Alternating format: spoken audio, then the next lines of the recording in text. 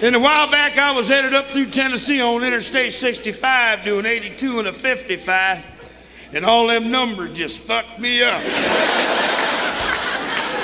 and I was shit faced. I was like one of them puppies in a Puerto Rican's back window.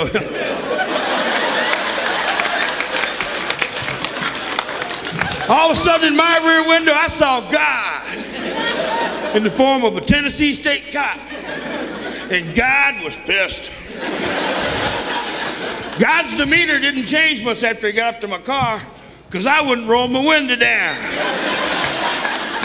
I think if you're God, you can hear me. You know, there's a certain point when you're dealing with the police, you come to the realization, you know, I may not be sleeping in my bed tonight. Cop said, all right, let's see your driver's license, registration, and proof of insurance. Hell, I must have looked through that glove box for 10 minutes till I realized I was sitting in the front seat of his car. Whoops.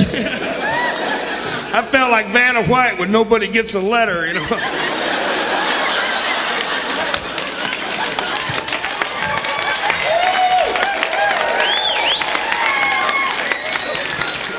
Cop said, all right, we're going to give you the field sobriety test. I said, I don't give a shit. I ain't going to pass it. I ain't been studying. He said, put your heels together, put your arms out at your side, tip your head back, close your eyes. Now with one finger, touch your nose. Your nose. Said, all right, now say your ABCs. Well, shit. A, B, C, D. Don't sing them. Oh, shit. I'm going to jail.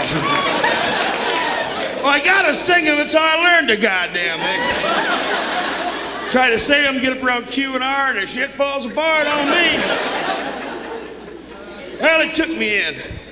You know, it's the dumbest thing. You're so goddamn drunk you can't grab your ass with both hands.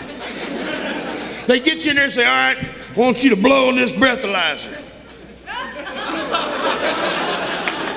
I figure, shit, I'm already in jail. Why don't you blow on my breathalyzer? They didn't think it was quite that funny. Make a long story short, I blew in their breathalyzer. And the readout came, said, one at a time, please.